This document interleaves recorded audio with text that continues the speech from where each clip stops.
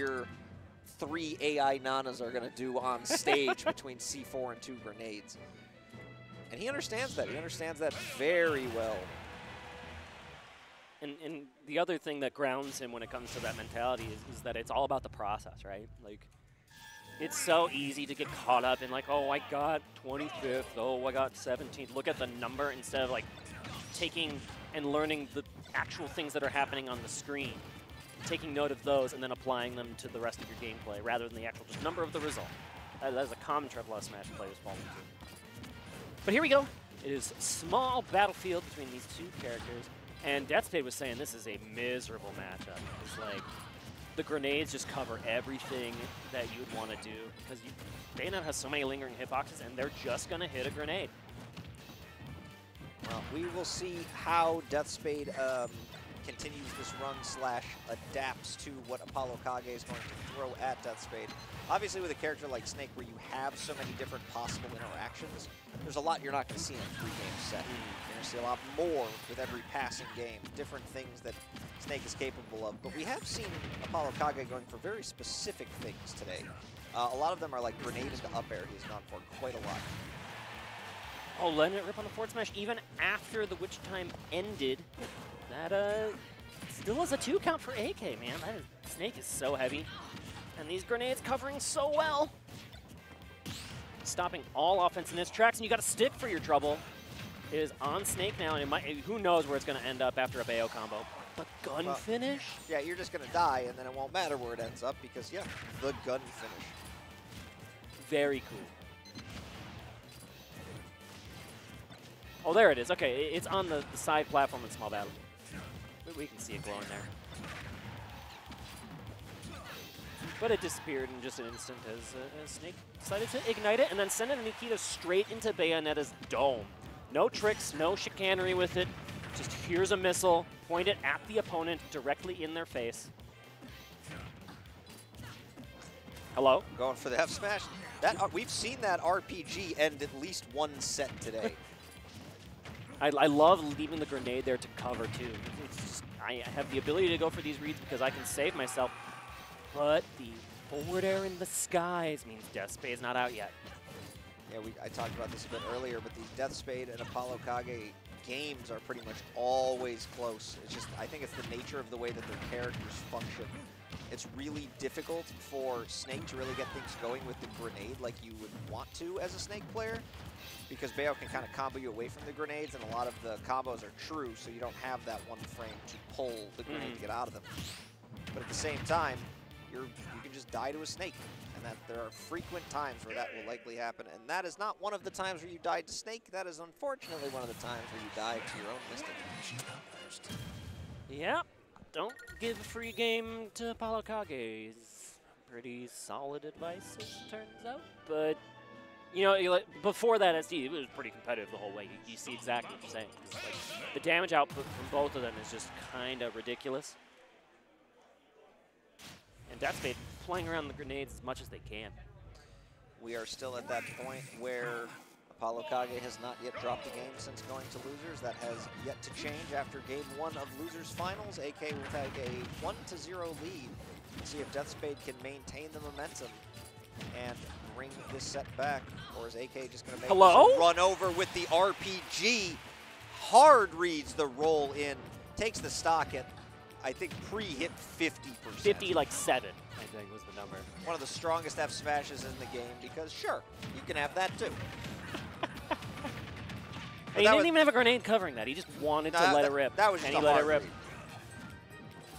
Okay, witch time got interrupted by grenade? So Snake slowly flew out of reach in an an, like an antagonizing way.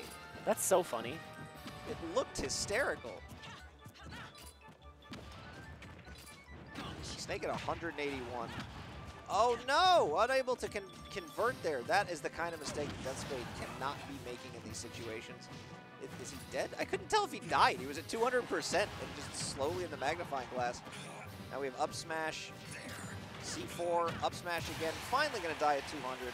Deathspade had to pull out every trick to take that Yeah, what, what a crazy, crazy stop. Deathspade was flying all over the place, going for shenanigans.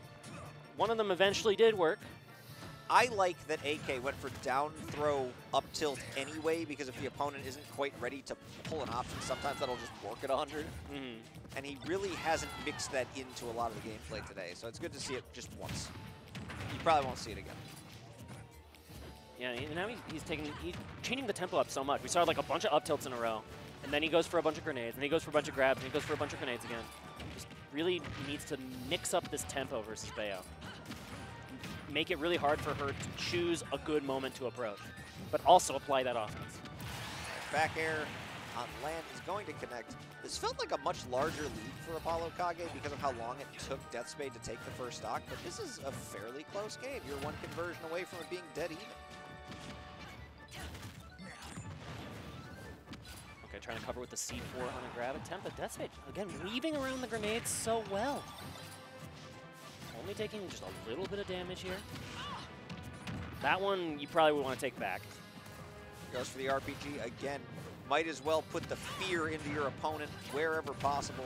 Deathspade trying to approach with both dive kicks and um, upward side Bs. Did I just call those witch twists? Yeah, witch twists. All right, there, there's the grenade up air that I spoke of a little bit earlier as well. We've seen a lot of those from Apollo Kage today as he takes another game, making it 2-0, making this loser's side fairly quick. Yeah, n- n- yet to lose a game. It still holds. AK, a force in this Polar Pummel losers bracket. I miss K. Rool. the K. Rool one w- run was so That, cool. that was a good time when K Rool wasn't winners. big Copel fan. I think Cole made a lot of fans here at this venue today, if I had to guess. But let's see if Deathspade can return the serve on game number three, sticking to small battlefield. Tossing up grenade to himself and then throwing it to get that first little bit of damage. AK just got some really cool stuff that he does do with this character. Yeah, he, he's so smart, the Snake.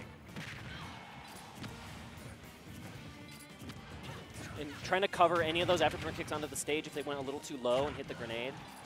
That's why he was sending them so far back under the platform. Hello. Okay. Oh, no, he's going to die for that. Oh, nice SDI to get out of it. Has to go for. Oh! That's Deathspade almost landed the craziest confirm. I mean, it's still going. This disadvantage state has been for like 25 seconds. Yeah. Apollo Kage recognizing like, I should probably throw it up tilt here. I've got max rage in my opponents around 100. Dash attack not quite going to do it, but it is a guaranteed punish. Yeah, you just take the guarantee at that moment. That's like the, the best burst movement option for Snake in that spot. Oh, careful of the weaving little Nikita missile. Now both characters with max rage. First big hit is going to do it. Deathspade getting the Witch Time F smash to take that first stock. And spacing that F smash perfectly so that the grenade that was in Snake's hand didn't like clash and hit Bayonetta, right? That's that's how you need to space that. C4 going to even the playing field here in this game three. Deathspade looking all really strong at the moment, uh, this particular game. Was Getting- that? I, I, he did like C4 into Nikita missile? That looks so goofy. That is a what was he cooking moment, I have to feel like. This I'm, I'm like, guessing he wanted a second grenade, not Nikita, but he moved Yeah. just a little. Or like was looking for an afterburner kick up high or something? I don't even know. Ooh, Deathspade goes going for it all. Going to die. Can Snake make it back off the Cypher? No. No, unfortunately C4 was up on the stage. AK. That will just be a trade in stock, so now we're going to go last stock. Deathspade putting themselves in the best possible position to take the game. A last stock situation is usually better if you're considered the underdog. I We'll have to see how it shapes up here. Getting the combo going. Oh, it just sent snake over to the side. All right, afterburner kick. Gets a little bit of a combo, not quite connecting. Apollo Kage really letting these F smashes rip this, well, tournament. Most of them he's had grenades covering. The one that the only one that hit was the one that was just a read. And oh, the homie? Oh, the homie almost took it. That was so close. Okay, Deathspade going to get on the board. Apollo Kage dropping a game in losers for the first time after C4 almost just decided, no, no, you're done here today.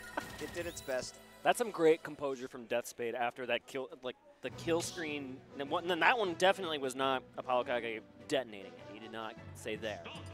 That was just the homie explode and be like, you know, I bet your buddy's standing right here right now. Maybe I can steal this game for you, but instead, Death Spade turned it around. There's a good chance if I was in that situation, I would have already thrown my controller. So. oh, Solid I'm- Snake, you are a character in this game. I'm not unfamiliar with that concept. But let's go to game four. Death Spade on the board, needs a reverse 3-0 to stay alive and get a run back versus Ned.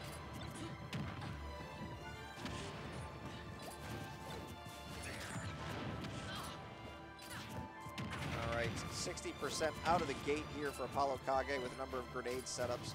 Nothing too Rising. fancy, just a lot of damage real fast. Just taking away all the approach angles. As long as you're under that platform with a grenade in your hands, that there's no way that any of these dive kicks, afterburner kicks, are going to find a safe way in that doesn't trade. Witch times the grenade explosion? Love that idea. That, that was worth a couple of stocks in, in game, or at least one stock in game number one. Or sorry, the one that Death Spade won. Death Spade goes for afterburner kick, regrets it immediately. Apollo Kage going to get the up tilt conversion there.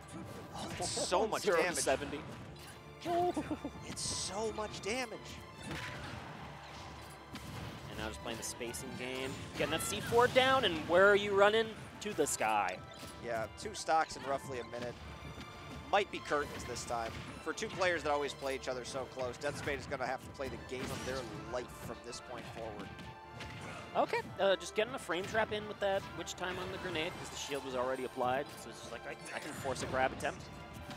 Witch time, good start. okay, good idea, but didn't quite work out the way they were probably hoping. We'll get the next witch time into back air. There could be a lot of game left here for Death Spade. Let's see. Yeah, one of two things. We're either got a lot of game left or very little for this set. there, there, I don't think there's an in-between. I like the parry attempt there from Apollo Kage, but safely applying that witch twist pressure instead here at Death And, and taking away under the platform right now. This is actually really good for Deathspade because these combos are just sending Snake away. But that jab could be very important here for AK's chances of winning this game, because he now reset up his camp. Yeah, AK really has just said, I'm going to grab grenade and shield. I do not care. Read the roll, get the up tilt, and that will do it. Apollo Kage gets the run back on Death Spade and wins three games to one, advancing to grand finals for a showdown against Ned. And this might be